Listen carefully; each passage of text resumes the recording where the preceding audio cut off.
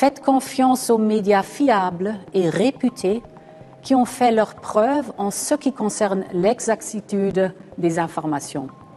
Faites confiance à vos autorités sanitaires. Faites confiance à l'Organisation mondiale de la santé. Les entreprises du secteur des médias sociaux doivent partager les informations avec la communauté des vérifications des faits, les fact-checkers, afin qu'ensemble nous puissions démanteler ces rumeurs dangereuses. Cela doit cesser.